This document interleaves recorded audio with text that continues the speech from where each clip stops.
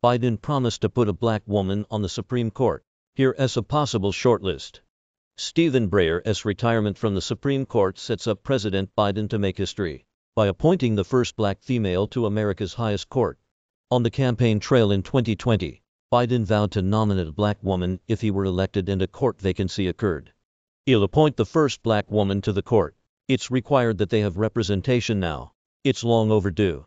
Pick Twitter.com VZJHT for B5VA. Brandon Richards, January 26, 2022. White House Press Secretary Jen Psaki confirmed this afternoon that the administration will stick to that pledge. Since Biden took office in January 2020, just four months after Ruth Bader Ginsburg's death allowed President Trump to move the court rightward toward a 6 to 3 split. Progressives have been howling for the 83 year old Breyer to retire as a way of ensuring that Democrats don't have her be GDJ. Vu. Last summer, Breyer frustrated them by saying he couldn't commit to retiring anytime soon because there were a lot of blurred things there and many considerations. Throwing into question who would be sitting in the Oval Office when he did.